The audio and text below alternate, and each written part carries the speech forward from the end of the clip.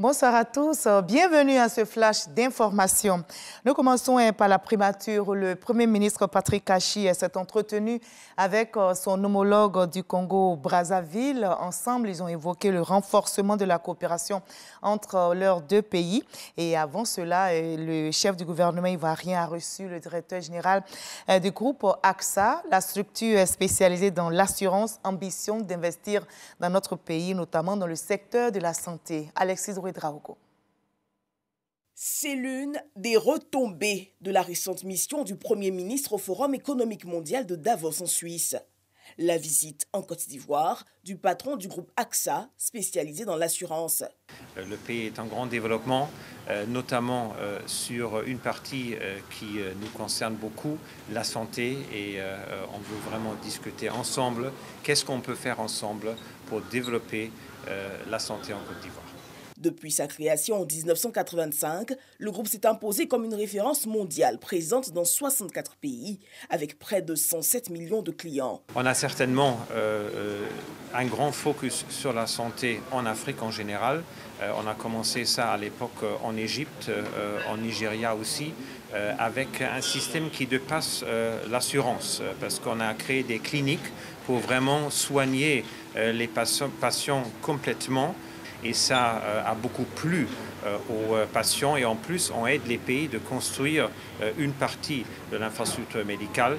Autre audience, un peu plus tard en journée, c'est accordée à Anatole Koliné Makosso, Premier ministre congolais.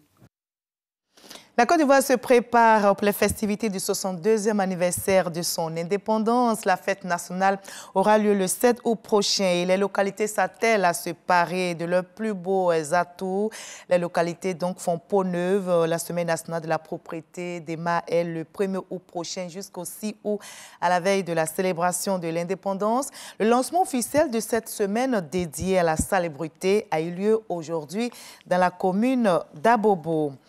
Et comment mettre fin aux effondrements dans notre pays? Justement, le ministre euh, Bruno Koné-Bagné active la sensibilisation. Il insiste, les contrevenants à la loi seront sanctionnés. On en reparle ce soir à 20h. Et nous sommes vendredi et nous aurons le dossier vide ici. Nous planchons encore sur la polygamie optionnelle. Cette fois-ci, c'est le regard des religieux et des traditionnalistes. Que pensent-ils, que proposent-ils Élément de réponse dans l'édition de 20 heures. À l'étranger, en Guinée, les tractations se poursuivent pour déterminer la durée de la transition. Le président en exercice de la CDAO, Omaro Sissoko Ambalo, président de la Guinée-Bissau, a affirmé hier avoir convaincu les autorités guinéennes de ramener la durée de la transition à 24 mois, une information non confirmée par les militaires au pouvoir en Guinée qui évoque plutôt 36 mois. Désormais, la Guinée souhaite que les discussions portent sur le contenu de la transition et non sur sa durée. L'armée russe accuse les forces ukrainiennes d'avoir bombardé une prison du Donbass. Selon les Russes, une quarantaine de personnes seraient mortes et il y aurait plus de 70 blessés. D'après les informations données par la Russie et par les séparatistes pro-russes du Donbass, le bombardement a visé une ancienne colonie pénitentiaire où étaient regroupés des prisonniers de guerre ukrainiens.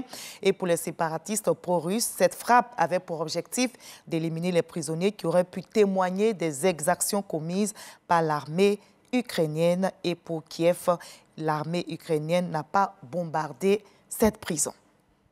Et on va se retrouver à 20h pour la grande édition. Mais juste après ce Flash Info, suivez l'info régionale pour avoir toutes les nouvelles de nos régions ici en Côte d'Ivoire. Allez, à tout à l'heure. Avec plaisir à 20h.